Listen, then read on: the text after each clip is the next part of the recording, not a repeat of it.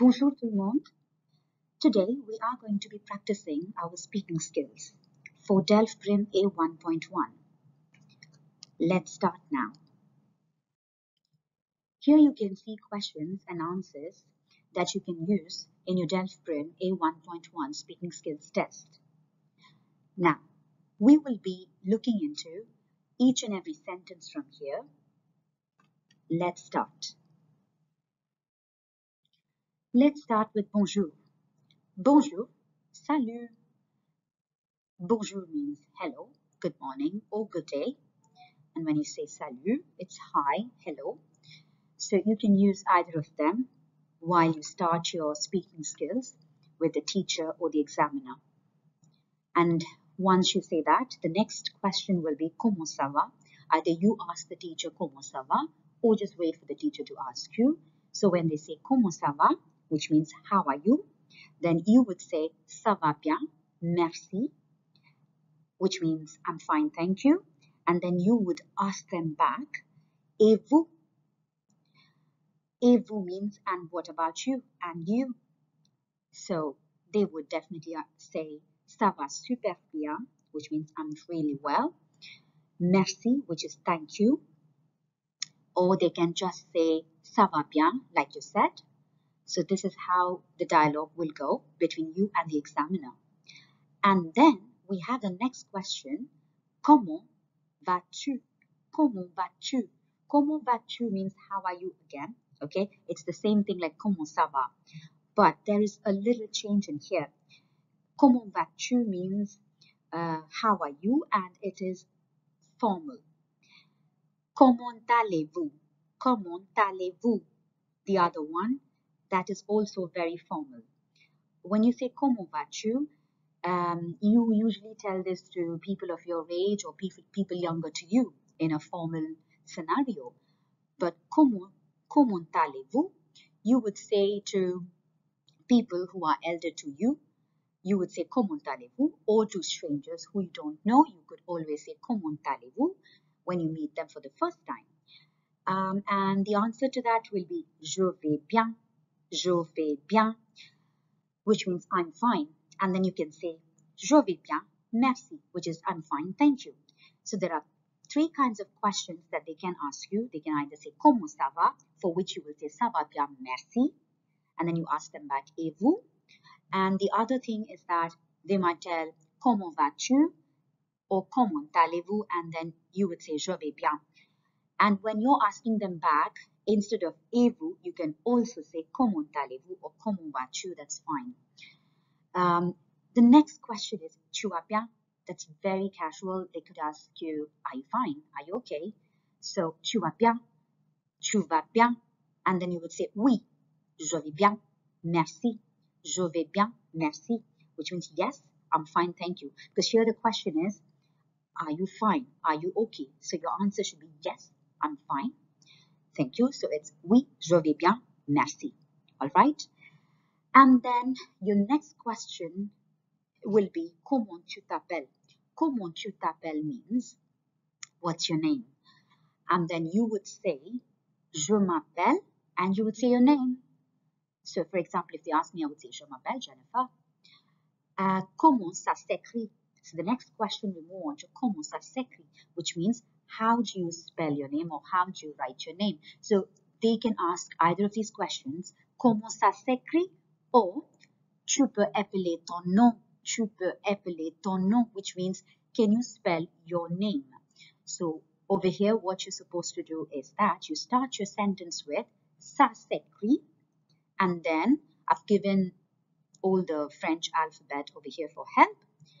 A, B, C, D, E, G, H, I, J, K, L, M, N, O, P, Q, R, S, T, U, V, W, X, Y, Z. Now that you know how to pronounce the entire alphabet, or if you do not know, you can always pause this uh, video and try to pronounce it after me, all right, whenever needed. So uh, let me, you know, pronounce my name, uh, just for example, Then if someone asks me comment tu t'appelles, I would say je m'appelle Jennifer. And if they say comment ça s'écrit, or tu peux appeler ton nom, if they say one of that, then I would say ça s'écrit J E N E F E R. So I would say this. So I want you to practice these letters with your name. So it's going to be very comfortable and smooth in your speaking skills. You'll be able to smash it with your name, your spellings in French, and that's going to be quite easy. All right, so practice the alphabet well for your name especially. Now, let's move on to our next slide. Here we will practice our countries and nationalities. Uh, especially nationalities in French, you have a masculine one and a feminine one, and we're going to practice how to say it. Okay, so our first sentence is this. Mon pays, c'est la France, et toi? Suppose your teacher asks you, my country is France, and what is yours? So you would have to say your country name. Uh, so you would start it like this. Mon pays, my country, say it is. And then if it's India, you would say Mon pays, c'est l'Inde. L'Inde. Suppose your country is Pakistan, then you would say le Pakistan. Le Pakistan. If it's Egypt, then you would say Égypte. Égypte. So you would say mon pays, c'est l'Égypte. Suppose if it's um, Algeria, mon pays, c'est l'Algérie. L'Algérie. If it's uh, Lebanon, then you would say, mon pays c'est le Liban, le Liban. And if it's Morocco, mon pays c'est le Maroc, le Maroc. Then if it's uh, United States, États-Unis, États-Unis. If it's Belgium, then it's Belgique. Then Japon, Chine for China. For Korea, it's Corée, Corée. Italy, Italy, Italy. Then for Spain, Espagne, Espagne. For England, Angleterre, Angleterre. And for Philippines, you would say Filipina, Philippines. So it will be pays, c'est les Philippines, because Philippines here of the country is plural, the Philippines. So you would say c'est les Philippines. And then Syria is Syrie. And then uh, Sri Lanka is the same, Sri Lanka. Um, so over here, if you see the next question is habites-tu or tu habites où? It means where do you live? See, all of us live in Dubai. So we would say j'habite à Dubai. We would say j'habite à Dubai. Okay, that's for everybody. For everybody, that's the same. Then the next question is quelle est ta nationalité? Est ta nationalité? Which means what's your nationality? So you would say je suis, I am. And then if you're an Indian, you would say je suis. And then if you're an Indian girl, then you would say je suis indienne, indienne. If if you're from Pakistan, then you would say Pakistanais, Pakistanaise, Égyptien, Égyptienne, Algérien, Algérienne, Libanais, Libanaise, Marocain, Marocaine, Marocain, Marocaine, Américain, Américaine, Belge, Belge is the same for both of them, Japonais, Japonaise, uh, Chinois, Chinoise for China, Chinese, okay. Um, then Coréen, Coréenne, Italien, Italienne, Espagnol, Espanol. The pronunciation is the same for this, for both masculine and feminine. Next one is English. It's anglais, anglaise. Anglais, anglaise. Then uh, for Filipino, masculine is Philippin, Philippine, Philippin, Philippine. Syrian is Syrian, Syrian, Syrian, Syrian. Next one is Sri Lanka, Sri Lankaise, Sri Lanka, Sri Lankaise. Just keep that in mind.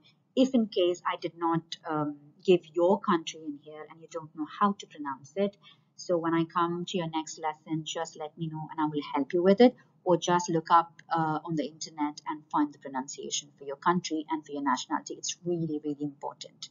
All right. And then the next thing would be they would ask you uh, where do you come from. So it can be either my country is this and what is yours. So they're asking your country, or they could even ask where do you come from. For both the question, the answer is the same. All right, because you're going to say your country. And then, quelle langue parles-tu? Which means which language do you speak? We all speak English, so you can start by saying je parle anglais, which means I speak English. Je parle anglais and then we speak a little French. If you speak more French, then you can just say en français. But if you speak a little French because you're just doing your DELF Prim A1.1 and you're a beginner, you could say un peu français. Un peu français means a little French. A is and, and then you can add your um, your native language over there, whichever language you speak. If you speak, um, you know, Italian or Spanish or English, uh, sorry, not English, Spanish or English or uh, Chinese or Japanese or any language that you speak, you can add that over there for yourself. Okay, so uh, that's it about the country nationalities. Um, so again, uh, to just remind you, whenever they ask you for nationality, remember to say if you're a boy, say the masculine one. If you're a girl, say the feminine one. Just keep that in mind. Very, very careful. Okay, be careful with that. Um, the reason why I gave, you know, the same kind of questions, the meaning is the same, but it's asked in a different way, is that they might end up asking you one of them. You should not get confused, and that's why. All right. Okay, so let's move on to our next part.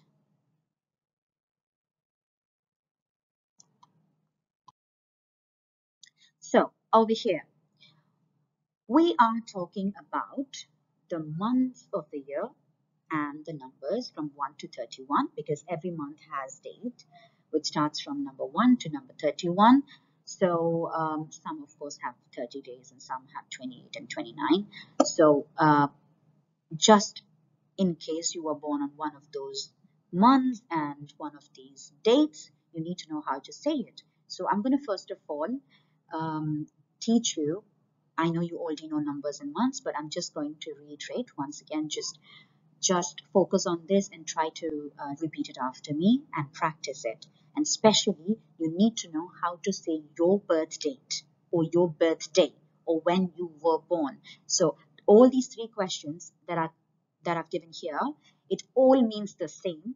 The answer is same, but the questions look different. I'll tell you why the reason, yeah, the reason for that. Uh, quand? Tu es né quand? Tu es né quand means when were you born? Okay, so you're going to say your birthday. Then, quelle est la date de naissance? Quelle est la date de naissance, which means what is your date of birth? What is your date of birth? And the next question is, c'est quand ton anniversaire? Which means um, when is your birthday? When is your birthday? So in, for all these three questions, you're going to say the same answer. Um, but the thing is, the sentence starter is different if you remember, just memorize these sentence starters. If you remember, say them. But otherwise, you can just say your birth date, never mind. Okay? Um, so, let's start with the numbers now. 1, 2, 3, 4, 5, 6, 7, 8, 9, 10, 11, 12, 13, 14, 15, 16, 17, 18, 19, 20, 21, 22, 23, 24, 25, 26, 27, 28, 29, 30, 31. So just practice these numbers. Um, even if you didn't practice all these numbers, at least your birthday. All right.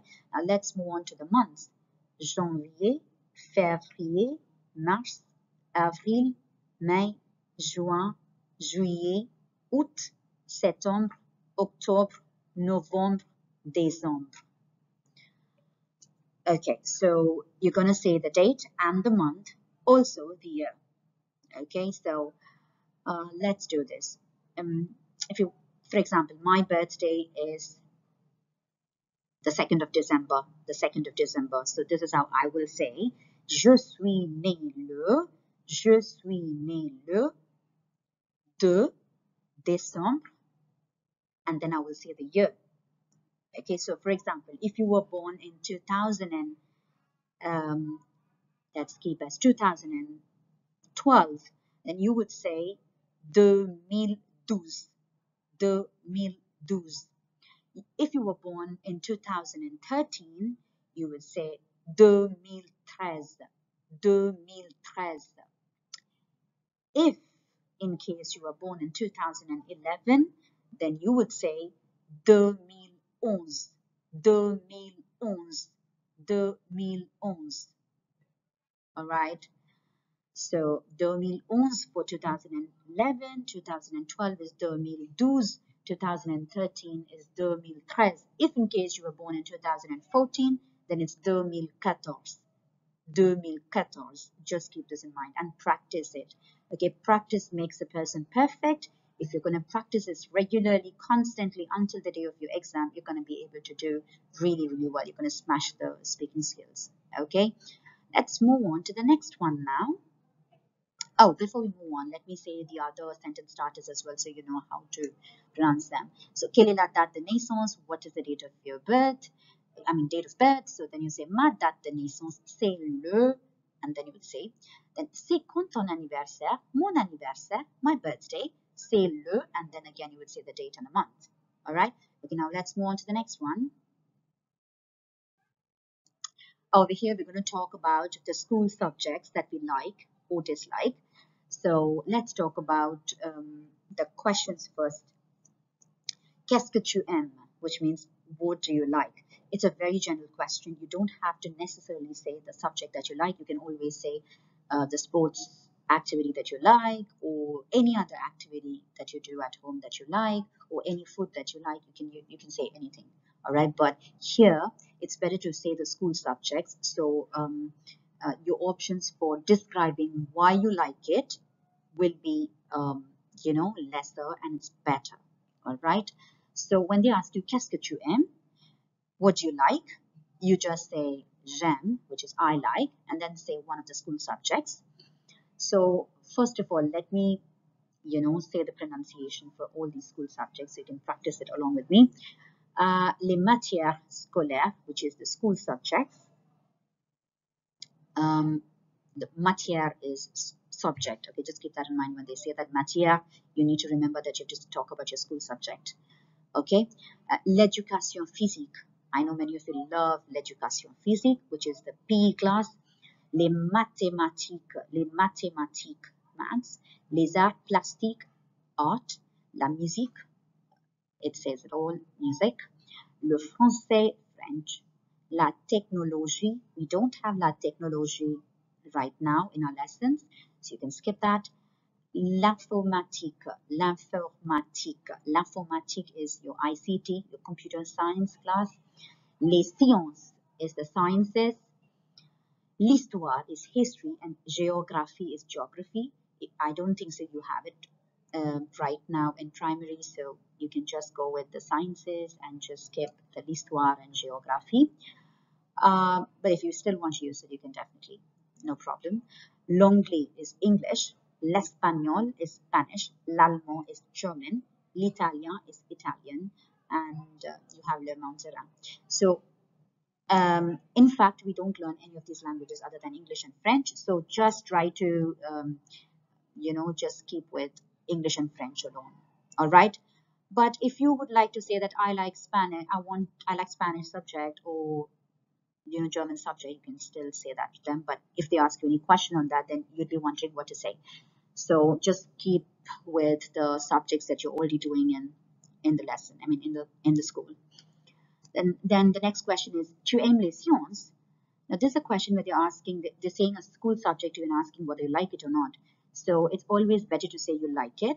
So you can say oui, j'aime les sciences. Uh, then they would ask you why, which is pourquoi. Pourquoi means why, why you like it. And you have to say whenever they, you hear the word pourquoi, it, it means they're asking why, the question why. So you say, j'aime les sciences, I like sciences, car c'est, because it is, intéressant, it's interesting, utile, useful, et amusant, which is fun. Okay, so you can use these adjectives. You know, if you use so many adjectives, they might think that, wow, fantastic, they know so many adjectives. And this is just checking your, you know, assessing and checking your vocabulary, your grammar and all that. So it's good to use more adjectives while you're in your speaking skills. Okay, while you're doing your speaking skills. Um, so, but if in case they say a subject and you don't like it and you want to be truthful, you can always say no, je n'aime pas, je n'aime pas, which means I don't like les sciences. No, je n'aime pas les sciences. No, I don't like science. But of course, they will ask you why again, pourquoi. For that, you could say maybe it's boring or difficult or not useful. Uh, so if you want to say not useful, it means inutile, inutile. If you want to say um, it's really not good, kind of, it's nothing, then you can say nul, nul. But if you want to say it's boring, you can say ennuyeux, ennuyeux. Or if you want to say it is, what else can I say? Ah, difficult. If you want to say it's difficult, you can say difficile, difficile, difficile. Okay? But if you want to say any subject is, school subject is easy, then you have to say facile. Keep that in mind. Okay? Well, now that we've completed this, let's move on to the next one. Let's talk about music now. Tu fais de la musique, which means do you do some music? So your answer should be either oui or non. So if you do it, you could always say oui. Oui, je fais de la guitare et du piano, which means yes, I do. Uh, I play guitar and you know piano. Um, so if you want to say anything else, you could take examples from here.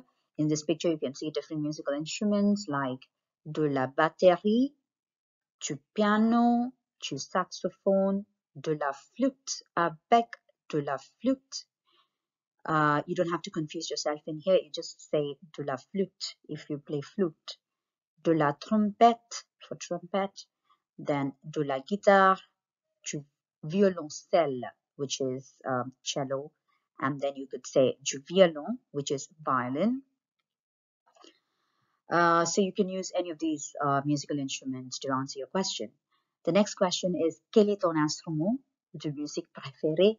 Which means uh, which musical instrument do you prefer? So here you could say je préfère and then you could use any of these instruments from the picture that you see to say Qu'est-ce que tu fais après l'école? What do you do after school? You can say that you're playing any of these um, instruments or you can even say any sports activity that you're doing like uh, je fais um, sorry je joue au football je joue au cricket je joue au tennis. So it's up to you to say any of the sports activities. Even you could say I do swimming je fais de la natation. So these kind of answers you could give. Um, then the next one is qu'est-ce que tu fais le weekend. So what do you do in the weekend? So you can either say you do something or you play something. So if you're saying, for example, I play um, violin, then you could say uh, je joue du violon. And if you're doing probably gymnastic or, or something like that, then you could say je fais de la gymnastique. Or you want to say just sports activity that you do, not to mention the sports activity, then you could always say je fais um, du sport. It's it's up to you, whatever you want to say. Okay. And what else? Let's move on to the next one.